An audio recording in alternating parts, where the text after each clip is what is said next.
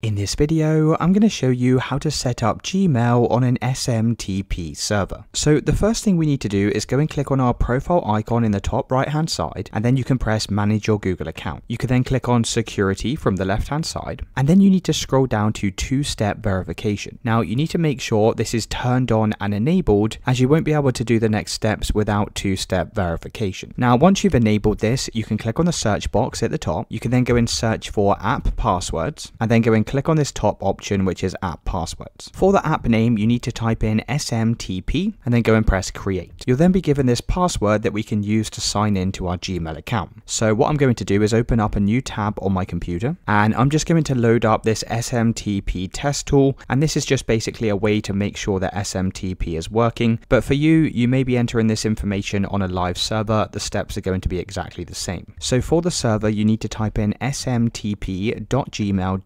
For the port number, type in 465. For security, we're going to select SSL. Now for the username, go and enter your Gmail email address. And then for the password, you need to go and enter the app password that we just created. So I'm just going to come back over to that previous page and I'm going to copy my app password and then you can go and paste that into the password field. And then for the from email address, we're also just going to enter our Gmail and you probably won't see this to email address as you're going to be entering this into a live server, but I'm also going to enter my Gmail for this as well and then we can press test it. So once you've done this, you should receive an email just to notify you that it is working. You can see this is what the email will look like and that's how to set up an SMTP server. Let me know in the comments if you found this video helpful.